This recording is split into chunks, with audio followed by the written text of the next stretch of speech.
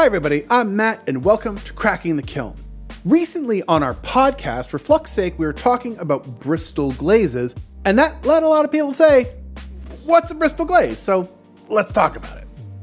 Bristol glazes are normal glazes for the most part, but they have some specific chemistry and some specific behaviors that lead them to work at temperatures like cone 6. So when you're looking at cone 6 recipes, it's not uncommon to see Bristol glazes and have never known it. This is one example of a Bristol glaze. This is from our book Test, Test, Test 7,500 glaze recipes. That's so many glaze recipes, we don't name them all. So why don't you help us name it? Put what you think this glaze should be named in the comments down below, and when we post this glaze recipe on our Glazy page, we'll use your name for it. This glaze is pretty simple and is a good representation of a Bristol glaze. Nepheline syenite, 39.49%, whiting, calcium carbonate, 16.1%, zinc oxide, 10.67%, EPK or kaolin, 7.47%, flint, silica quartz, whatever you want to call it, 19.81%, and then our colorants, cobalt carbonate, 0.93%, and titanium dioxide, or tie-dye as we know it around here, 5.61%. And then we use 80% water. And this recipe looks pretty normal if you've looked at glazed recipes. Nothing seems to stand out. But if you know Bristol glazes, you'll know that this is a Bristol glaze, but to lay that out, first we have to talk about what's in a glaze. Of course, glaze recipes are all pretty simple in that they are really only made of two major parts. Our glass formers, silica and alumina, are what make up a glaze. Glazes are literally silica and alumina. The problem is that silica and alumina melt at incredibly high temperatures, and so we use materials called fluxes to lower those incredibly high melting temperatures of silica and alumina. All glazes use two fluxes, one from the first column of the periodic table called the alkali metals, and those are generally going to be lithium, sodium, or potassium, and one from the second column of the periodic table, magnesium, calcium, strontium, and barium, but we also have to add in cousin zinc. Zinc is not in that column, but it definitely is an alkaline flux. It has exactly the same chemistry and it fluxes like all the others, so it definitely is an alkaline flux and it's important because we're going to use it in our Bristol glazes. Now to put this in a bit more context, here is a basic cone 10 glaze and has almost all of the same ingredients. This one's got nepheline syenite at 40% and whiting at 20%, flint at 30% and EPK at 10% and is also using cobalt as the colorant. But this is definitely a cone 10 glaze. Well, what's missing from this glaze? And what's missing from this glaze is zinc. Now, it's not zinc alone. Zinc on its own will work at cone 10, but in fact, it's that combination of zinc and calcium that makes the Bristol reaction happen and brings our glazes down to cone 6. But that's the part that we really have to contextualize. What we need to understand is that when you've got glass formers and fluxes, the lowest possible temperature, which those will make a stable glaze, is cone 10. And if you want to get to temperatures under cone 10, there's only a couple of ways to do it. Now, in a modern context, those are pretty straightforward. We can use something like boron, and that comes from materials like frits or Gerstley borate or colemanite or ulexite, but we're not talking about those, but that's actually the most common way to make glazes work at cone 6. The next way that's really common is a Bristol glaze reaction, which is what we're talking about here, that combination of calcium and zinc, and we'll get into its chemistry more. There are a couple of other ways to work at lower temperatures, which aren't the best. The first is going to be having a ton of alkali metal fluxes, that lithium, sodium, potassium,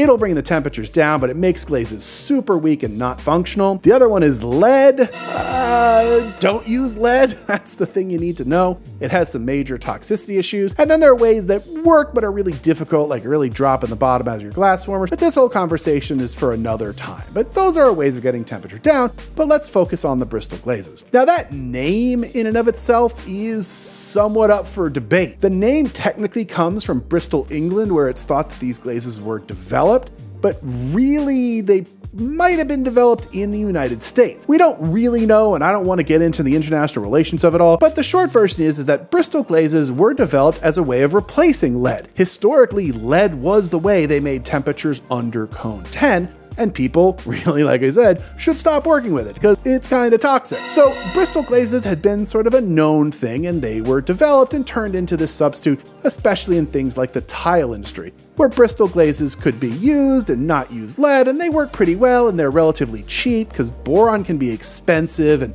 there's not a lot of boron in England, again, where these thought that these came from, so Bristol became this alternative of a way of getting temperatures down. There are a couple of limitations with Bristol glazes, and the major one is, is that the colors are not necessarily as bright. We'll talk more at some other time about how the alkaline earths really affect the colors that we're able to make, but calcium will tend to make bolder colors, but zinc will tend to make more muted colors. So having that zinc in there will sort of turn your color palette down, but it's nothing that we can't get around, and most Bristol glazes you'll never really notice the difference. It's not that big of a deal. But that Bristol glaze reaction is that cool thing that's going to lower the temperature. Now, what the Bristol glaze reaction is, is something very cool, and it's something that you may have heard of, but not quite know what it is. And that comes from the term eutectic.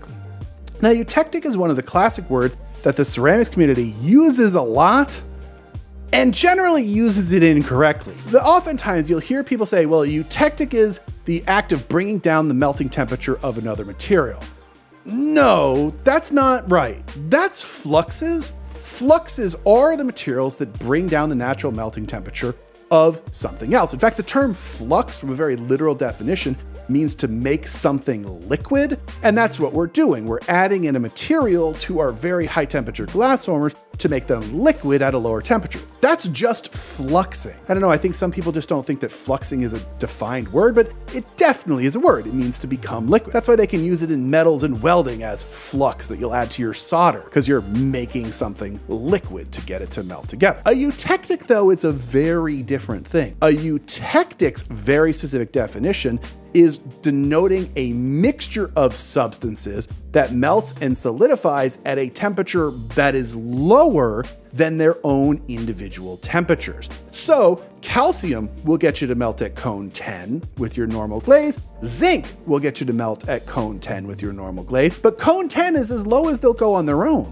But when you combine them into the right glaze, it'll lower that temperature down to cone 6. And we can see that on this document here. This is a little bit science nerdy, but this is what we call a triaxial diagram. And this one is showing us uh, uh, what happens when we combine silica, calcium, and zinc. And there's this little shark fin area in the middle, and there's a series of letters around it, A, B, C, D, E, and F. Well, as you notice on the right-hand side of this chart, it says ternary invariant points. And what we really care about, it says points A, C, D, and E, are all eutectics. So they're all points where that combination of calcium and zinc are going to create that lower temperature than either can create on their own. And in fact, point E there says 1170 C, and that's about cone four and a half to five. And that's about where Bristol glazes work. Four and a half to five, and that's exactly what we're getting, but it is definitely that eutectic and not the fluxing reaction. Fluxing is just what they're all doing, but the eutectic is that combination of the two. As far as the behavior of Bristol glazes, they're all super normal. They do what quote unquote regular glazes do.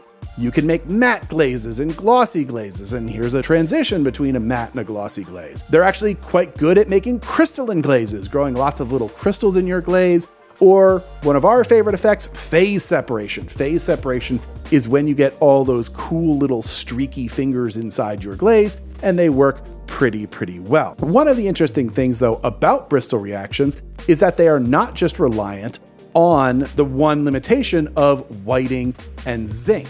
Of course, we were saying that we've got five different alkaline earth fluxes, magnesium, calcium, strontium, barium, and zinc. Well, we need zinc for our Bristol reaction, but calcium actually we can switch out. So what happens when we use magnesium, strontium, or barium? And the answer is some of them will create a Bristol reaction. In fact, calcium, strontium, and barium will all create a Bristol reaction. Now, you have to get the chemistry just right and balance all the molecules, and we talk about that in our online classes and workshops. But do know that you can get a calcium and zinc Bristol reaction, a strontium and zinc Bristol reaction, and a barium and zinc Bristol reaction.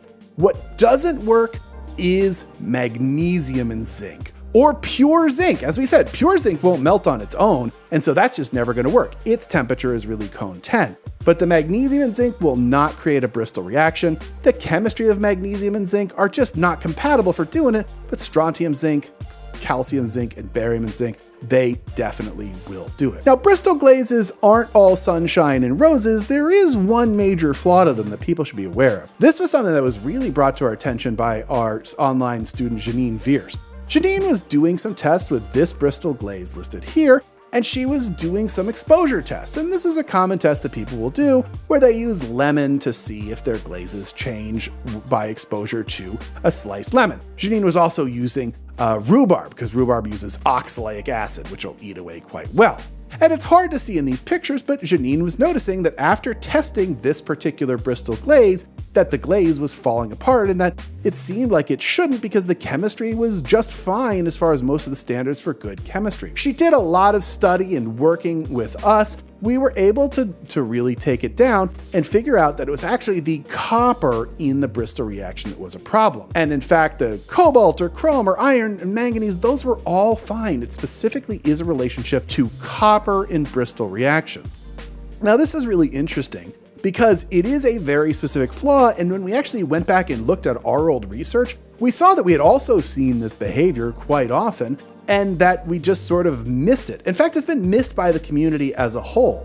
One of the things that's really interesting is that when you go back and look at some older books, these particular images are from uh, Mastering Cone 6 Glazes that they were using an example of the lemon test to show how some glazes were not durable. And they tested these two glazes here, Toshika Green and Jade Green, and then they were doing their lemon test and showing how the glazes were performed really badly. A lot of people make a lot of assumptions that this meant that matte glazes were not durable, but we tested plenty of matte glazes that work just fine.